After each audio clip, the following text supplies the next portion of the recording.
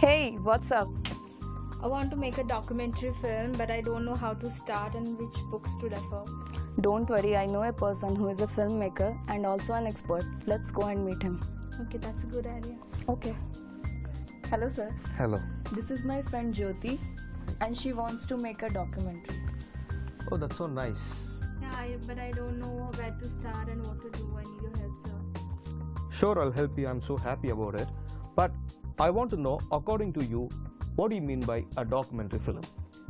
Um, a documentary film is a non-fictional motion picture intended to uh, document some aspect of reality, primarily for the purposes of uh, instruction, education, or maintaining a historical record. Wow, that's so nice to hear.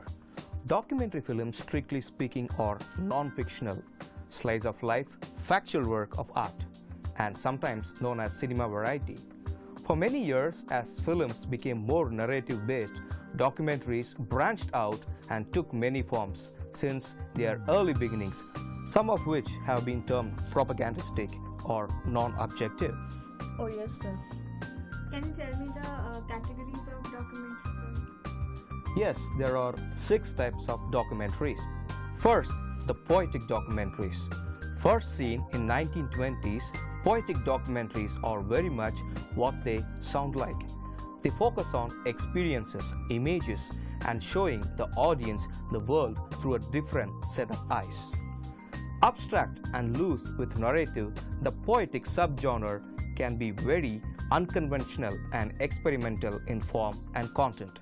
The ultimate goal is to create a feeling rather than a truth.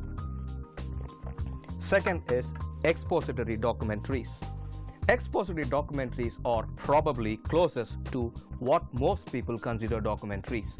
A sharp contrast to poetic, expository documentaries aim to inform and or persuade often through omnipresent voice of God. Narration over footage devoid of ambiguous or poetic rhetoric. This mode includes the familiar Ken Burns and television, A&E, History Channel, etc. styles. Third is observational documentaries. Observational documentaries are exact what they sound like. They aim to simplify, observe the world around them. Originating in the 1960s with the advances in portable film equipment. The cinéma vérité style is much less pointed than the expository. The style attempts to give voice to all sides of an issue by giving audiences first-hand access to some of the subject's most important and often private moments. Fourth, participatory documentaries. Participatory documentaries, while having elements of observational and expository, include the filmmaker within the narrative.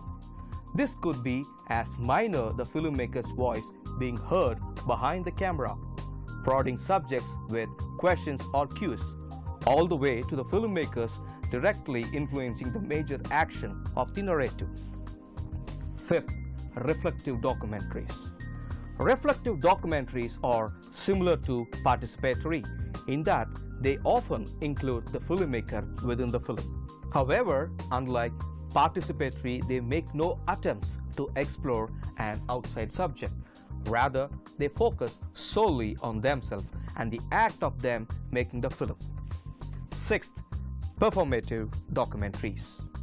Performative documentaries are an experimental combination of styles used to stress subject, experience, and share an emotional response to the world. They often connect personal accounts or experience juxtaposed with larger political or historic issues. This has sometimes been called the Michael Moore style, as he often uses his own personal stories as a way to construct social truth without having to argue the validity of their experiences. Thanks a lot, sir, for the information. Uh, so first, let me choose my type of documentary and start researching on that. Good. From there, within each subgenre springs an endless list of variation and styles unique to each and every film. It's up to the documentary filmmaker to craft their narrative or non-narrative for their desired audience. Thank, you for watching this video.